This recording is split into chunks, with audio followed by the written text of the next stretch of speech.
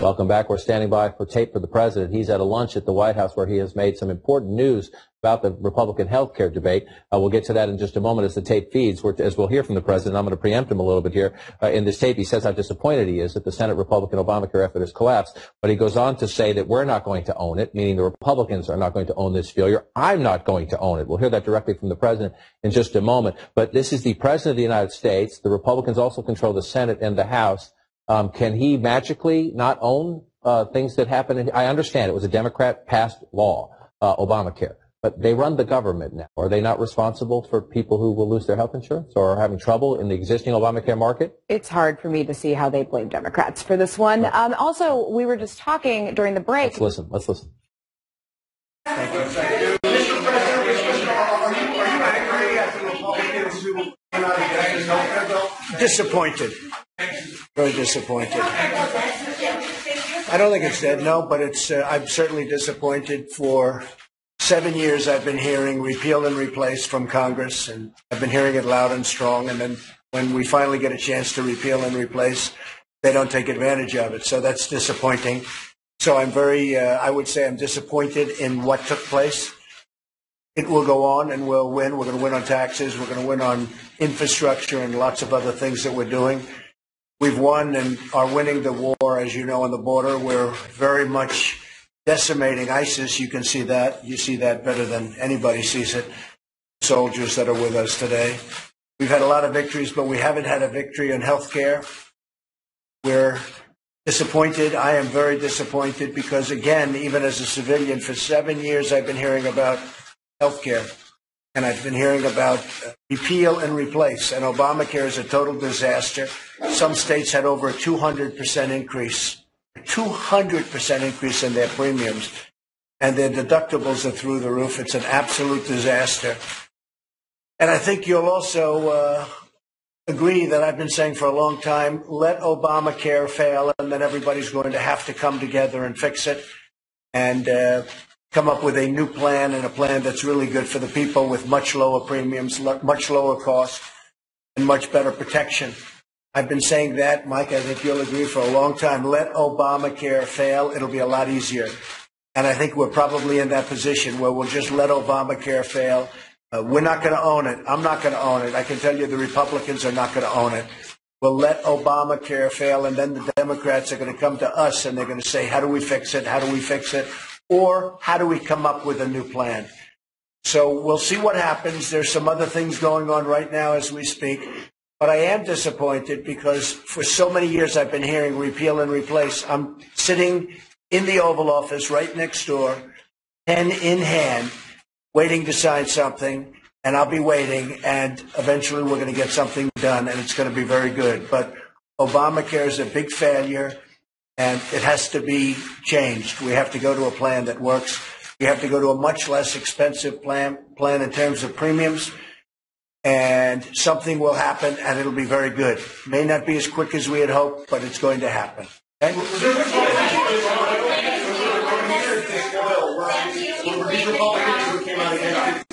Well, they were not disloyal. They had their own reasons. I was very surprised when the folks came tonight because we thought they were in fairly good shape, but uh, they did. And, you know, everybody has their own reason. But if you really think about it, look at it, and we have 52 people. We had no Democrat support, which is really, you know, something that should be said. We should have had Democrats voting. This is a great plan for a lot of people. We had no Democrat support.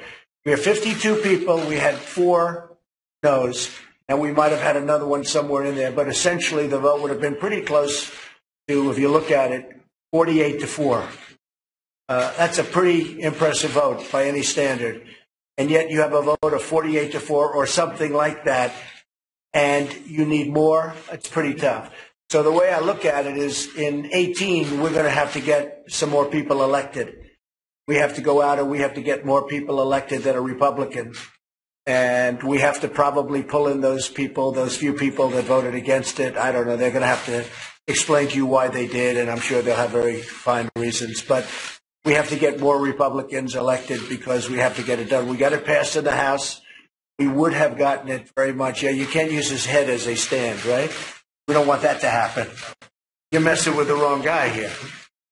So uh, we we want we want. Uh, I think we're going to do very well actually in 18. I would be not surprised if something were done long before that. But in any event, because the margin is so small, the majority margin is so small, we're going to have to go out and get more Republicans elected in 18, and I'll be working very hard for that to happen, okay? It, it would be nice to have Democrat support, but really they're obstructionists. They have no ideas.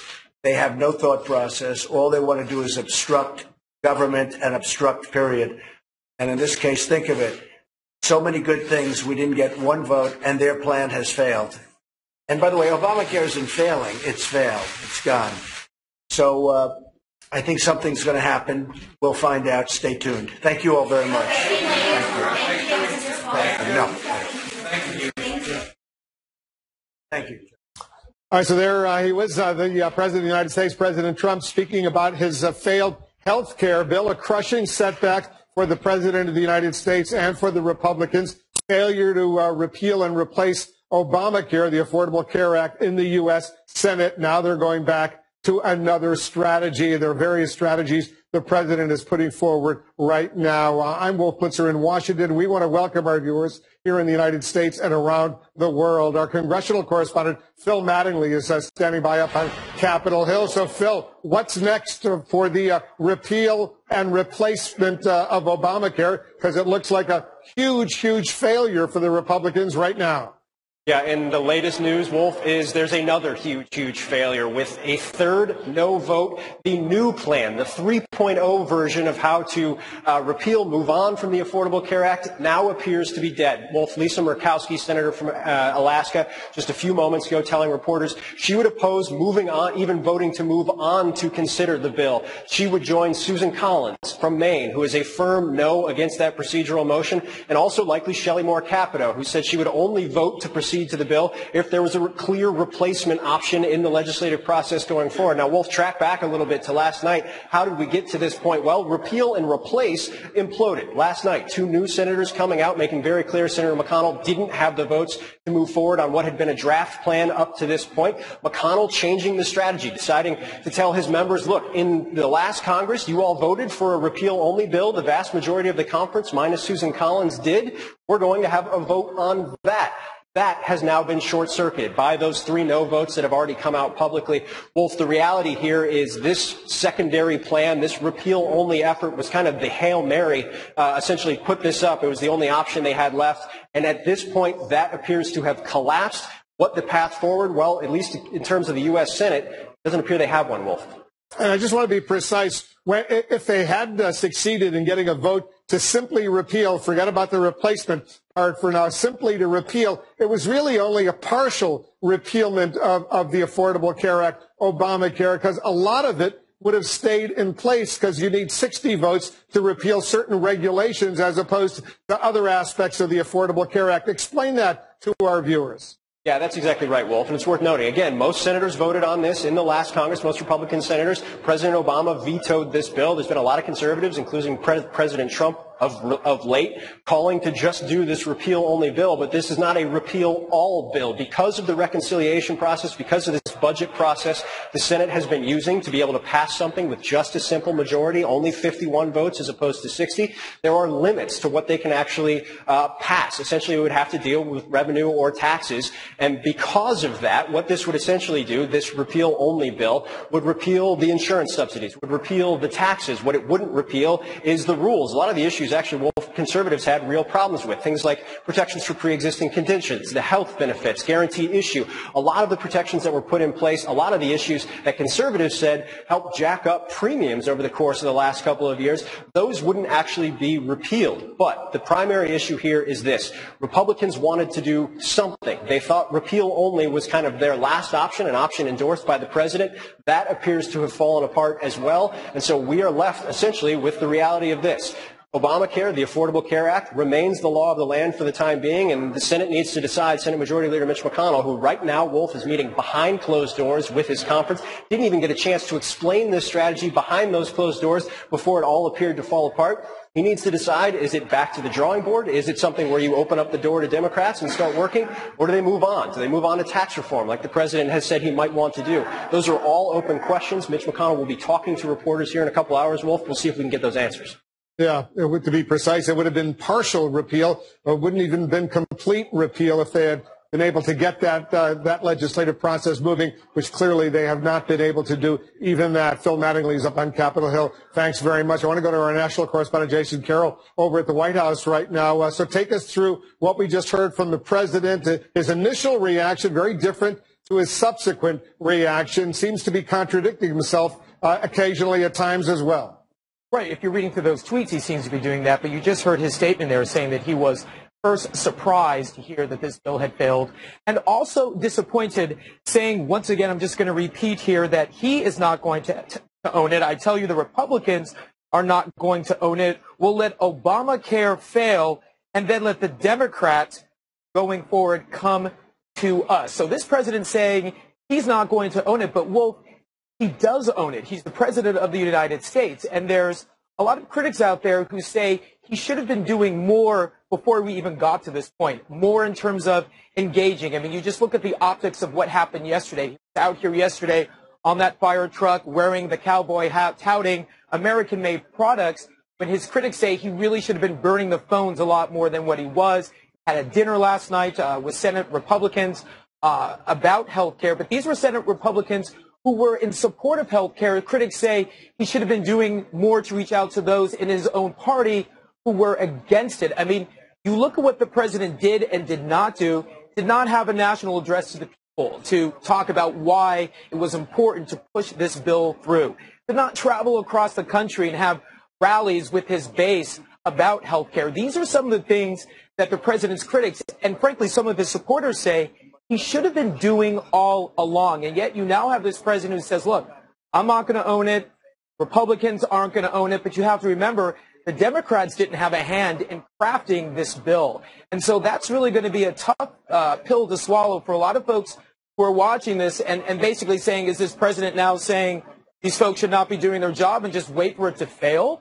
Uh, I really think that's going to be a tough pill to swallow for a lot of folks going forward, Wolf. Yeah, and he did something unusual for this president uh, earlier this morning in that tweet at 7:53 a.m. Right. Jason, he tweeted, We were let down by all of the Democrats and a few Republicans. Most Republicans were loyal, terrific, and worked really hard. We will return. Uh, he is, in effect, conceding failure right now. And this is a, a president who never concedes failure. In this particular tweet, he's acknowledging he failed.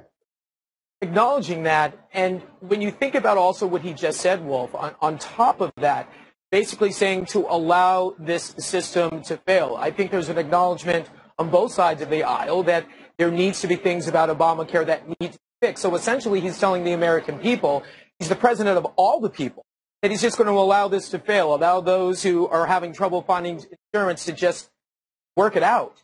I think that really is going to be, again, as I said before, a tough pill to swallow for a lot of folks going forward. And it really sort of gets to another point about this president. I mean, when you talk about selling, selling, uh, you know, the, the repeal and replace bill that failed, a lot of folks are saying this president should have been more engaged in the details of what was in this bill, selling those details to the people, getting really down in there and, and, and selling it. And the real feeling is that just didn't do it. But you've heard from the president right now saying, look, despite all that, he is not owning it. Republicans, Republicans are not going to own it. His thought at this point, let it fail, let Democrats come back to the table.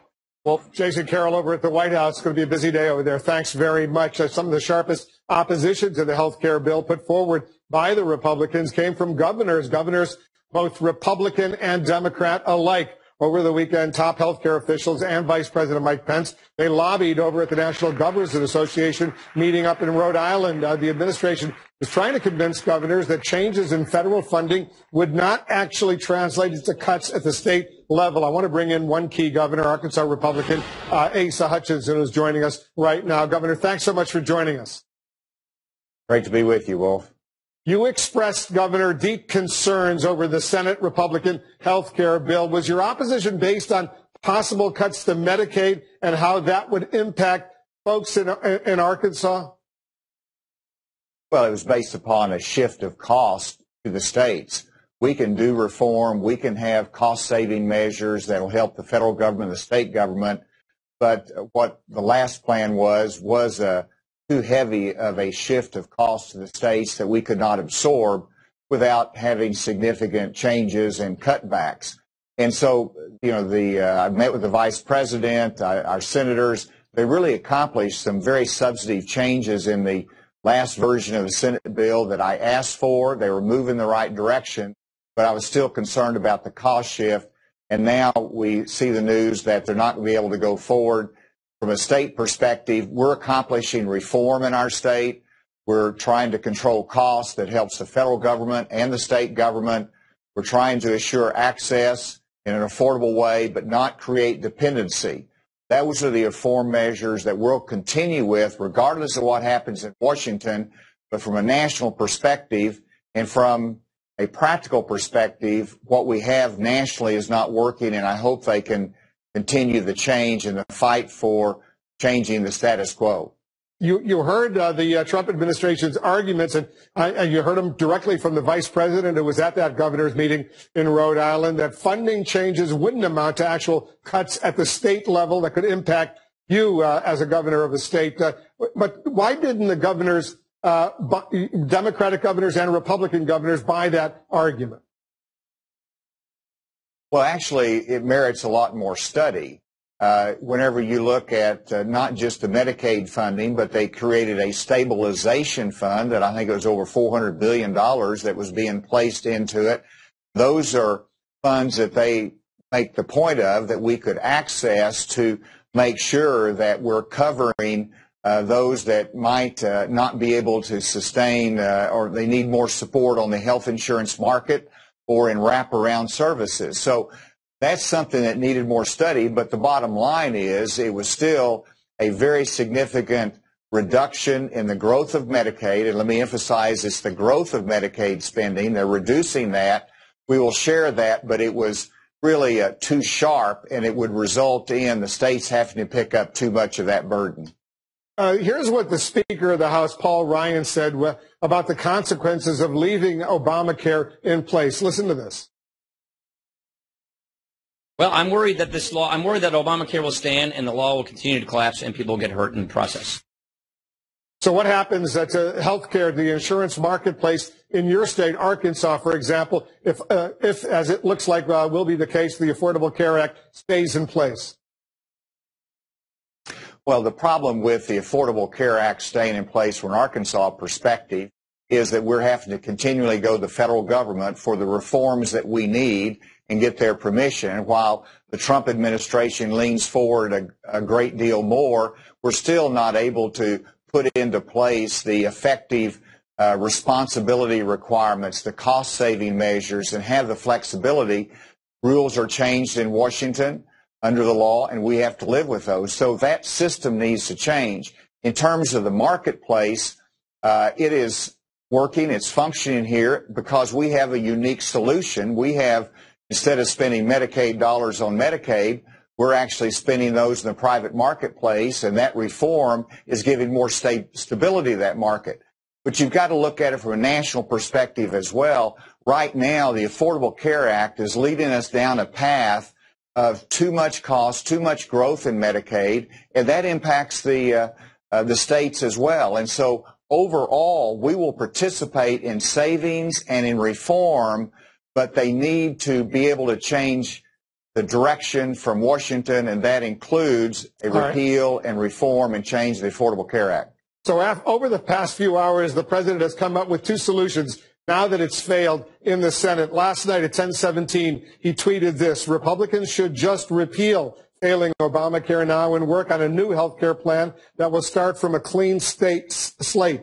Dems will join in. That's what he tweeted last night. This morning, he tweeted very different strategy. As I have always said, let Obamacare fail and then come uh, together and do a great health care plan. Stay tuned. Which one do you support? Try to repeal it and come up with a new plan in two years or simply let Obamacare, as the president says, fail and see what happens? Well, I think uh, that illustrates the fact that we need to let the dust settle a little bit, and some wise heads needs to get together to figure out the direction. What Democrats and Republicans agree upon is that what we have right now is not workable over the long term. It's costing too much. We need to have more accessibility. So I hope that the Democrats will come to the table. I hope that they will participate uh, in the next stage of the solution because uh, we've got to we've got to change it. We've got to have that reform, and Democrats need to be at the table to accomplish that.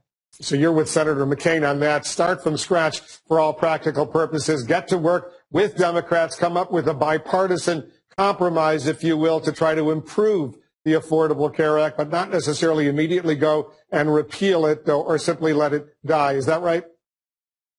Uh, we've always wanted to have the future direction. I've always advocated that if you're going to repeal it, let us know in the states where we're going so we can plan and be stability in our delivery of health care. That's very important. Now, I believe that there is a consensus that between Democrats and Republicans that we've got to change things. If that's the case, Democrats should come to the table and say, we will join that effort. I think with that, we can actually accomplish something. Uh, and I hope that uh, in Washington, they can accomplish that. Well, Asa Hutchinson, the governor of Arkansas, Democrats say they're more than happy to work with the Republicans. They simply don't want to see the word repeal as part of that process. We'll see what happens next. Governor Asa Hutchinson of Arkansas, thanks as usual for joining us. Thank you.